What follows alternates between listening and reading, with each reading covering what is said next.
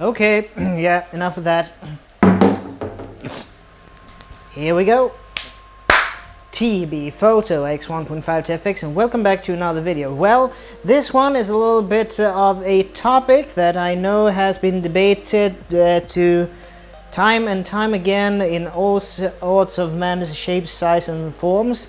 And it's uh, octopus securing and um, yeah I got my own little idea of it and I just uh, asked for some feedback on you more experienced guys out there in YouTube land. What do you think? Uh, good bad indifferent uh, yeah.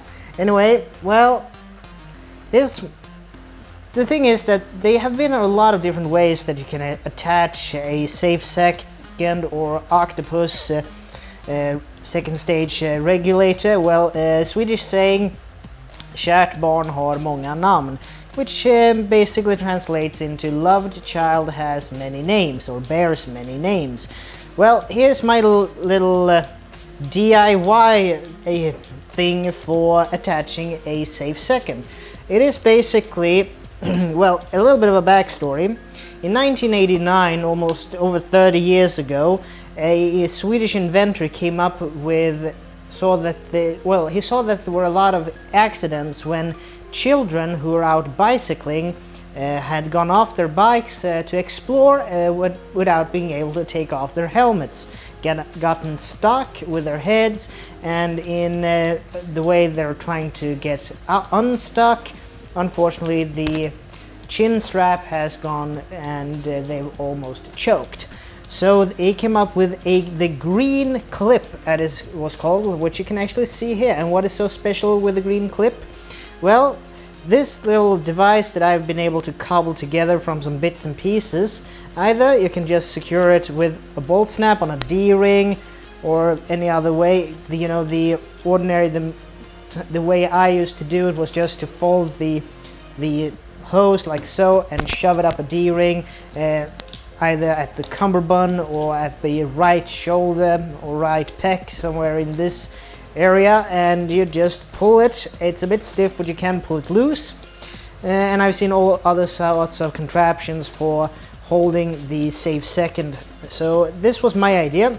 So basically the idea was that they made the bicycle helmet manufacturer made a green clip that uh, was able to be pulled apart when a bit of force was exerted on it. So the helmet would still protect the child during normal bicycling or a bicycle accident, but in, if the head got stuck and the helmet was pulled, the clip was supposed to pull apart, and that exactly is what this is. So yeah, I went on Tradera, got myself a used child's bicycle helmet, removed the nylon strapping, nylon webbing, and the green clip, and yeah, then it's basically like so. so in essence, this uh, this uh, octopus holder can be uh, detached uh, three different ways in an emergency. First, you have the bolt snap, which uh, just clips it off to anywhere in the triangle, you know.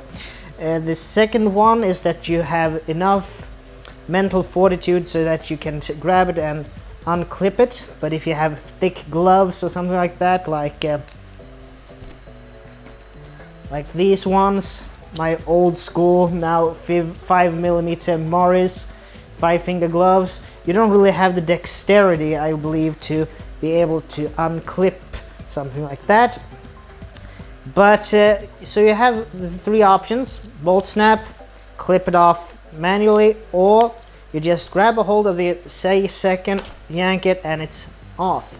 So that's a little bit of my little invention DIY solution to this little this little thing about how to secure a octopus or safe second. So yeah, this is a quick little video just demonstrating on my little DIY solution to a common um, scuba diving problem or that has been up for debate for time and time again. So yeah.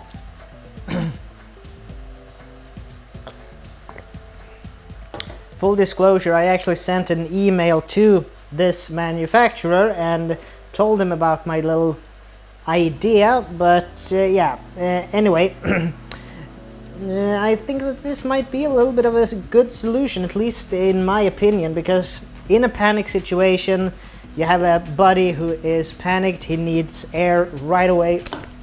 There you go. There you go.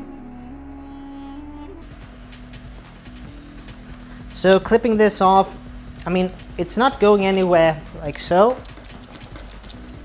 But if you pull it on it, it will release. So that's uh, my take on this little little phenomenon, this little idea. So yeah, all in all, this is all for me for now. But uh, what is your thoughts about this uh, little invention DIY solution? Good, bad, indifferent? I would love to hear your comments about it in the comment section below.